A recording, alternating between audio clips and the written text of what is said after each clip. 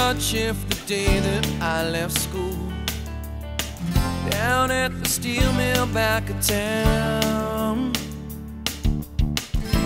Pension that I get now, that won't get me through. But that don't matter, cause I got this.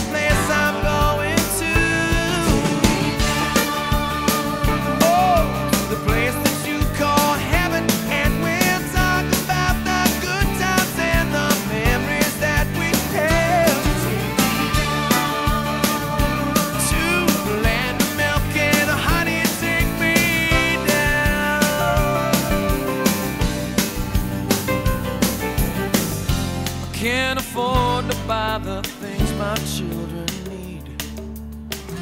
How can I make them understand? I would rather